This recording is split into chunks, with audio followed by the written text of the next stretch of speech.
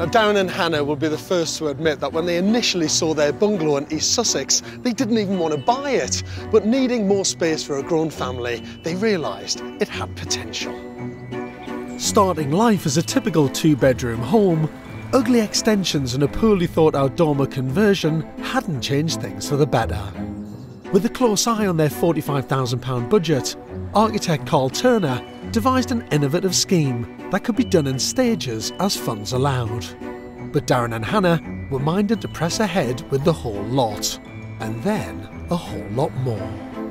Now, the couple said they wanted something to reflect their personality, something very different from the rest of the estate. In fact, they wanted their house to be unrecognisable. Let's see if they got their wish.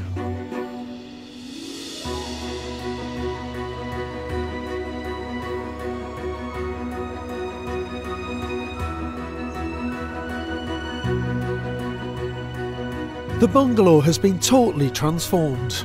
No longer just one of the crowd, the inventive use of unconventional materials has given it a fresh identity inside and out.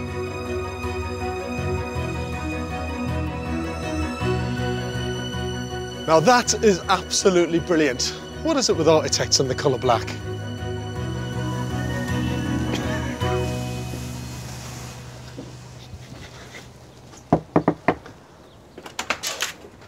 Good Hello. morning. Come on out. How are you? So Good, nice to see you. you. You look very glam. So do you, mate. Yeah, I thought I'd make an effort for you. It looks fantastic. Come on, let's go and have a look. I have to say, the front just couldn't look any more different, could it? No. No. What do the neighbours think? We've had mixed reviews. Some absolutely love it, some loathe it. You know what, whenever you do something that's so radically different, though, it's always going to be controversial. I think Carl's done amazing with uh, Corten, getting that contrast, and especially with uh, the trellis, definitely transforming the, the front of the house. Now, you did talk about privacy, but you've made the windows bigger. Obviously, we're planning on living in the back of the house, so once you've seen the full house, then hopefully you'll understand why the windows are bigger and what we've done. Well, also, you put a massive cow in the way of that window. I think it blends in really well. No one else has got a cow on the street. so, and they're all stopping to have a look anyway. With the cow there, at least it sort of gives it a purpose, doesn't it? Like, stop, look at the cow. I love that. No one else has got a cow on the street. Shall we go inside and have a look? Yeah. Go on, you lead the way. Previously, the back of the property was divided into a dining room and the master bedroom.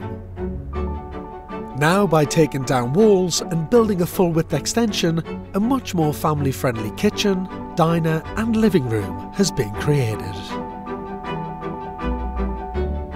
Oh, that is fantastic. Look at all the plywood. Do you like it? I love it. I'm so used to architects cladding the outside of buildings, but you guys have gone for it on the inside. Yeah, Carl's design is incredible, really is. What a wonderful social space for you guys to be in. And I love the kitchen. We took a while to choose the right one. Yeah, wanted to make sure it was childproof, no like sticky fingers over it, but we're glad with this one, aren't we? Yeah. I have to say, that skylight is a genius move. It really is. To squeeze in a couple of skylights over the top of where you're going to cook and stand at the sink and get natural light right in the centre of the plan is a winning move. And then the extension is, well, what a massive difference. Yeah. Controversially, it was costing you more money. Yes. Was it worth it? Yeah, I think so.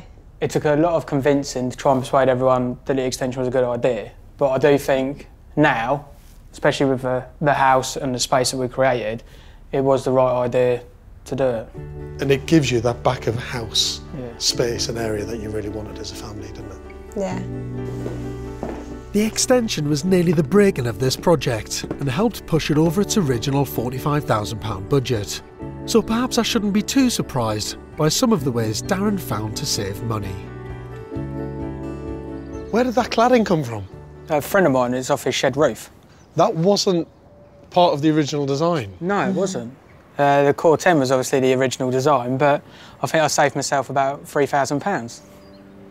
And it's already rusty.